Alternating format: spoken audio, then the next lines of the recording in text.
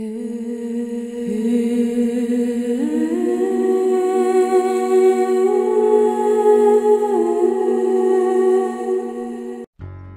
दोस्तों, धार्मिक तत्व में आपका स्वागत है। दोस्तों, भगवान शिव की महिमा अपरंपार है। उन्हें प्रसन्न करने के लिए किसी खास प्रयास या पूजा पाठ की ज़रूरत नहीं होती, बल्कि सच्ची श्रद्धा और पूरे मन से किया गया प्रयास आपको भोलेनाथ की कृपा का पात्र बना सकता है।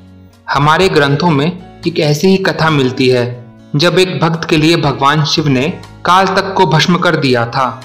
तो आइए जानते हैं उस कथा को विस्तार से। पौराणिक कथा के अनुसार, राजा श्वेत केतु जो कि भगवान शिव के परम भक्त थे, उन्होंने काल को भी जीत लिया था। राजा श्वेत केतु सदाचारी, सत्यवादी और धर्म के मार्ग पर चलने वाले शूरवीर और प्रजापालक थे।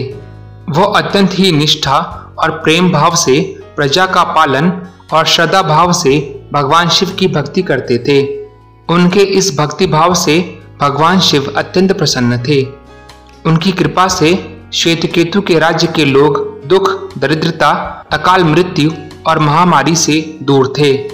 एक दिन जब राजा श्वेत केतु का जीवन काल समाप्त होने को था और वह भोलेनाथ की आराधना में लीन थे, तब चित्रगुप्त ने यमराज से कहा कि राजा श्वेत केतु की आयु अब पूरी हो चुकी है। अब उनके प्राण हरने का समय आ गया है।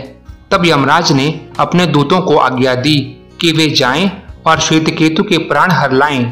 यमदूत राजा श्वेत केतु के पास पहुँचे तो वह शिव मंदिर में थे। दूत बाहर ही खड़े हो गए। श्वेत केतु गहरे ध्यान में थे। बहुत देर हो गई, न श्वेत केतु का ध्यान टूटा और न ही दूत हिले। यमदूत बिना अपना काम किए वहीं खड़े रहे। दूतों के आने में देरी होने के चलते यमराज स्वयं ही राजा श्वेतकेतु के प्राण हरने पहुँचे। लेकिन वहाँ उन्होंने देखा कि राजा श्वेतकेतु तो भगवान शिव की साधना में लीन हैं। अब तो वह सोच में पड़ गए कि इनके प्राण कैसे हरें। उन्होंने सोचा कि यह अभी पूरी तरह भगवान शिव की पूजा में डूबे हुए हैं। इस स्थिति में शिव पूजा का उल्लंघन नहीं किया जा सकता। तब यमराज भी बाहर ही खड़े हो गए। उधर जैसे ही काल को इसकी सूचना मिली तो उन्होंने तलवार निकाली और शिव मंदिर में जा घुसे। काल ने देखा कि राजा श्वेत केतु अभी भी भगवान शिव के लिंग स्वरूप के सामने बैठे ध्यान मग्न हैं। जैसे ही काल ने राजा श्वेत केतु का सिर काटने के लिए तलवार उठाई, तभी भगवान शिव ने तीसरा नेत्र खोलकर काल की ओर देखा। भोलेनाथ का तीसरा नेत्र खुलते ही काल वहीं राजा श्वेत केतु के सामने जलकर भस्म हो गया। थोड़ी देर बाद राजा श्वेत केतु का ध्यान टूटा। उन्होंने अपनी आँखें खोली तो राख में बदल चुके काल को देखा। उन्हें चिंता हुई कि यह कौन है और क्या है। श्वेत केतु ने भगवान शिव से पूछा, हे भोलेनाथ, यह किसकी राख है? इसे किसने और क्यों जलाया? तब भगवान शिव ने बताया कि यह काल था। जो कि तुम्हारे प्राण हरने आया था। राजा श्वेत केतु ने कहा कि, हे महाकाल, यह तो आपकी ही आज्ञा से तीनों लोकों में विचरता है।